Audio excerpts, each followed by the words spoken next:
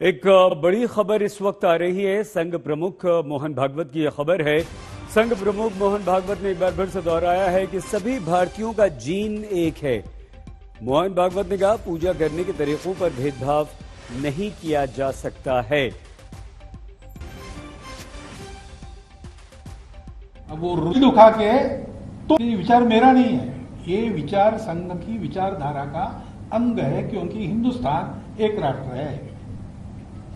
यहाँ हम सब लोग हैं सबके अलग अलग इतिहास भी होंगे पृष्ठभूमि के होंगे लेकिन पूर्वज सबके समान है। स्वार्थ अलग अलग होंगे लेकिन समाज एक है।